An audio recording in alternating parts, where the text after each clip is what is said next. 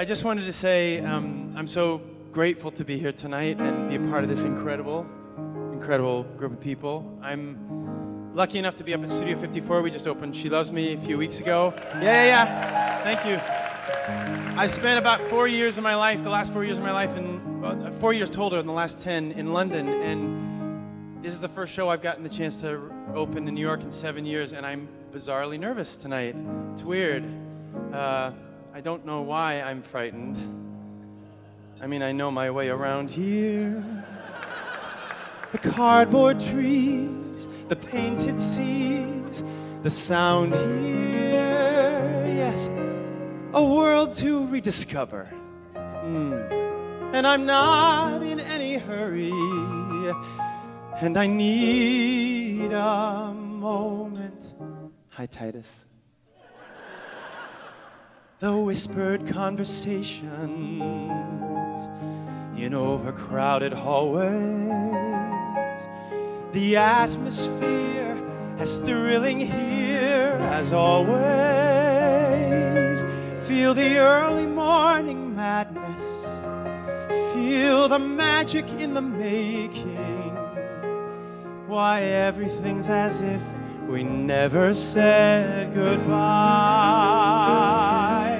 I've spent so many mornings just trying to resist you. I'm trembling now, you can't know how I've missed you. Missed the fairy tale adventures in this ever spinning playground. We were young together. I'm coming out of makeup. The light's already burning.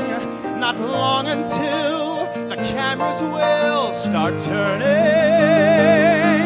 And the early morning madness and the magic in the making. Yes, everything's as if we never said goodbye. No, I don't want to be alone that's all in the past. This world's waited long enough. I've come home at last, and this time will be bigger.